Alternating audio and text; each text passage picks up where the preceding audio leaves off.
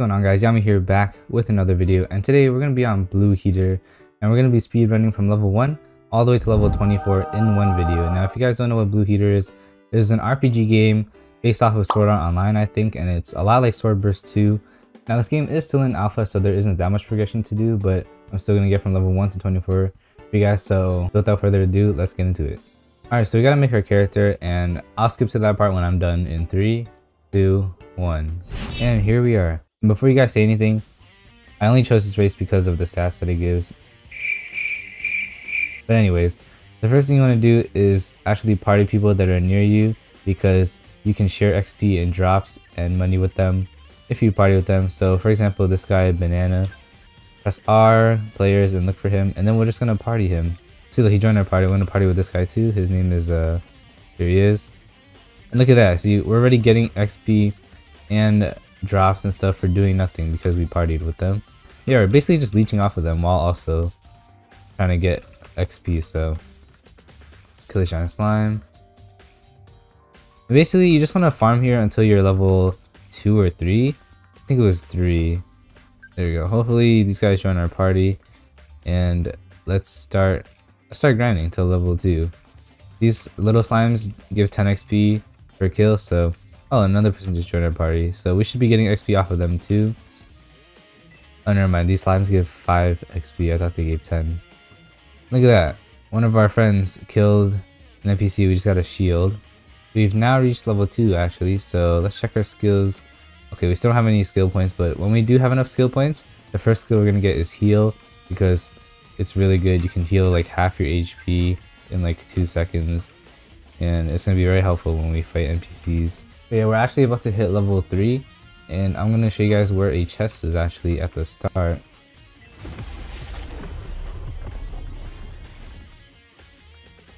Alright, we're now level 3. Let's see if we can get a skill. Yep, we have one skill point. So first we're going to get heal. We're going to equip it in our first slot. Let me show you what this does. You guys see my HP up here? I'm going to press heal. And look at that. We're back to full HP. The first chest is actually over here. You just go past the waterfall. And it should actually be here, but uh, I guess someone took it recently. Now, by the time you're level 3, you should have gotten some equipment. We actually have not gotten any better weapons yet. And the party system actually has a range limit, so if they're too far away, you won't get any XP. But that guy's close enough, so we're still getting XP off of him.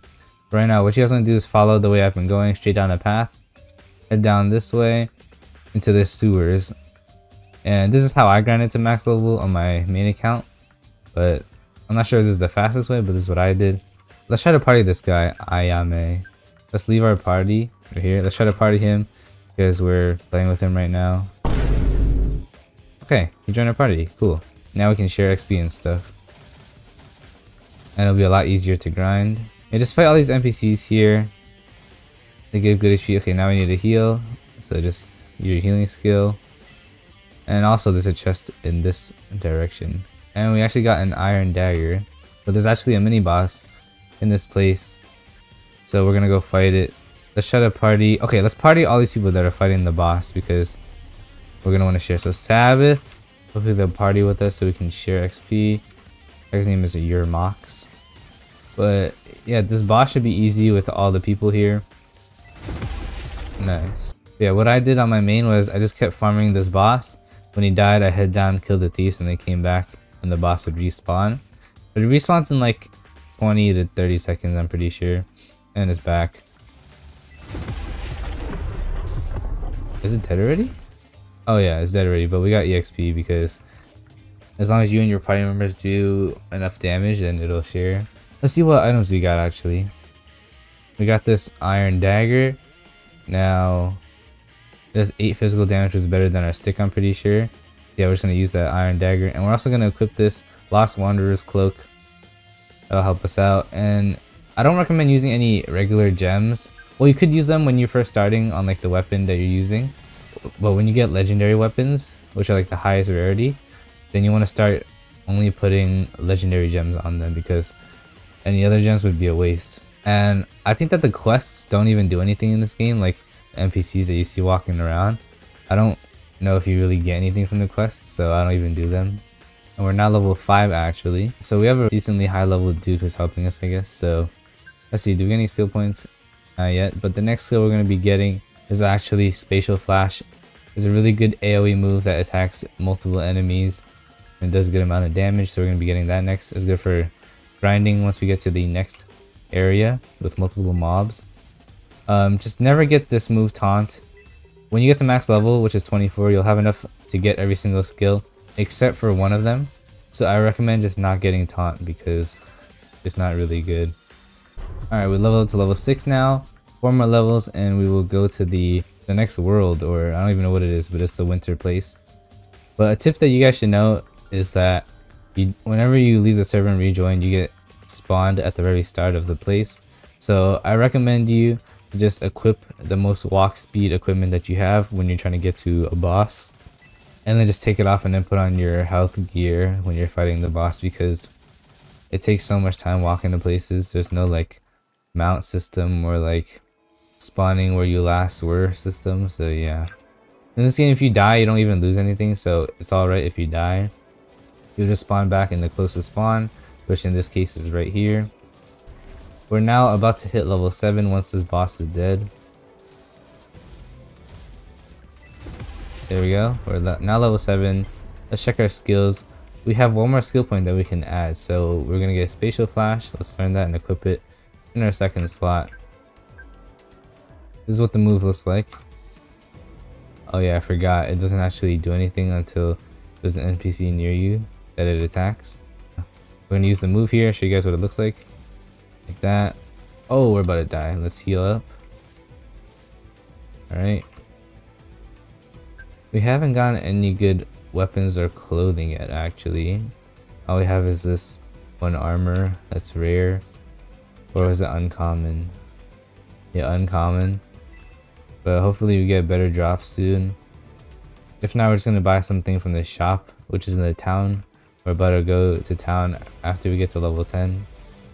Another iron dagger. I kind of want an axe or like a sword or something. Because personally, I like those more than daggers. Okay, let's open up the chest here. Show you guys what it looks like. Oh, we just got an axe, speaking of it. Let's equip the axe. And head towards the boss again. Sadly, you can't even sell your items in this game, like you have to delete it from your inventory. Got a steel longsword, let's see the stats on that. 15 physical damage, while our weapon does, let's see, 14. Oh, okay. So, the longsword actually does more damage than the axe, so we're just going to use it. We're now four-shotting the thief NPCs if we don't get any criticals, but if we do, then we do double the damage per critical.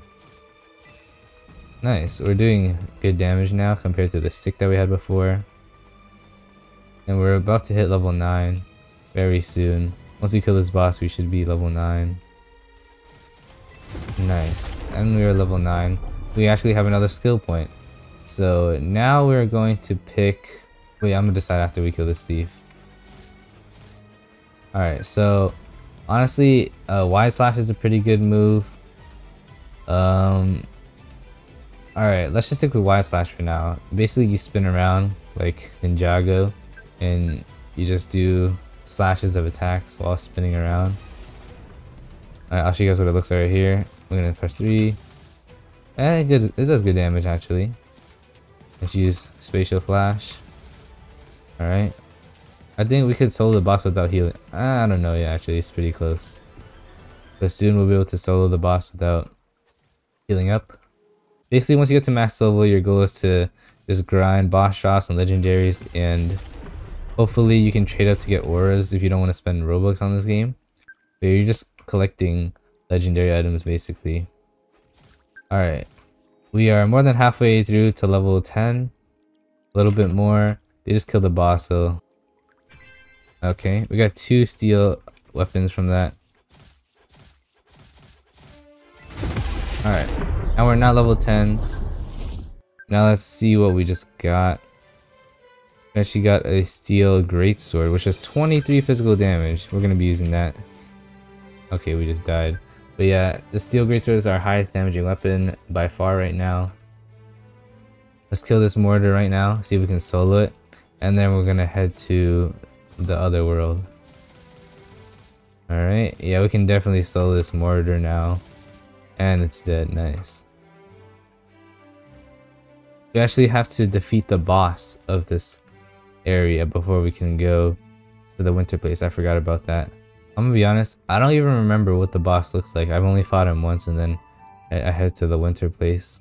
I don't even know if he has any legendary drops. Okay, looks like our other friends that we partied are over there now. So if we get closer to them, we might share some XP.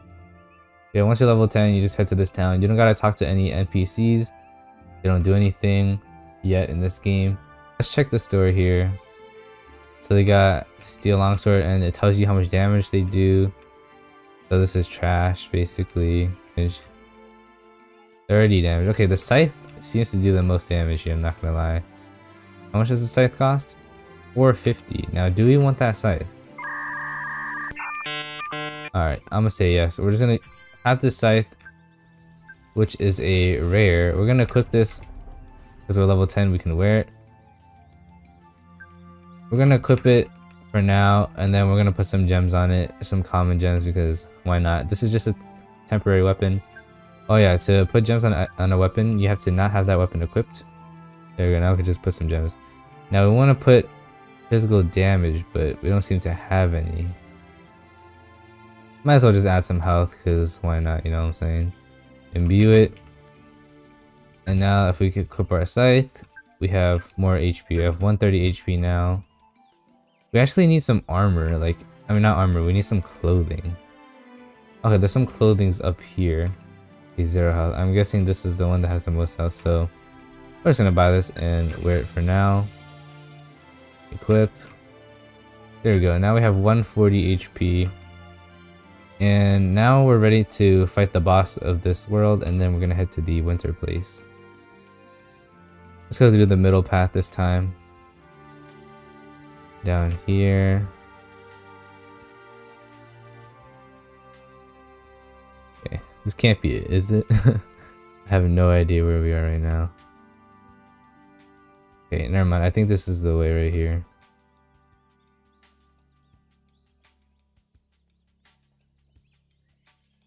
Okay, yeah, here it is. Once you see these gates, you'll know you're here. I just went down the middle path and I went to the path that didn't have a dead end. And we are here, the demon's lair. And that is the boss. Okay, I had not even remembered what it looked like. But here it is. Basically, just keep doing as much damage as you can and then heal up later. Alright, we're gonna heal up now. Okay. Oh my gosh, this thing is this far. Um, I'm pretty sure last time I fought this, I had skills that were long range. We didn't pick it this time, but we're just gonna heal up. Alright, let's go fight it now. Closer. I'm just gonna keep doing this. Actually, I don't even remember if you respawn near here, but I think you could just come back. Yeah, just heal up like this. It's easy cheese. And then start attacking it again. Once you get to one tap, you just dip. Oh. And it looks like we have a party member with us this time, so maybe it'll be a little bit easier with him joining us. But yeah, let's go fight this boss again. Hopefully we can dip. Okay, let's heal up. Okay, okay. bit. Cool. Alright, hopefully we just can keep repeating this and we won't die. Okay, what the heck is that? Oh, he spawns these little... I forgot about those. He spawns these uh, minions of his, but they don't do that much damage compared to the real one. So, that's good. We're gonna kill it now. Heal up. And let's go fight the real boss. Let's go. Okay, we're gonna try to dip. Oh my, are you serious? Alright, hopefully they kill it and we'll get XP for it because... Alright, there we go. Nice, it counted. Now we unlocked a new snow place. That was pretty scary. I thought we weren't going to get XP for that since we died. But yeah, if you look in the locations, now we have silent snowfields, so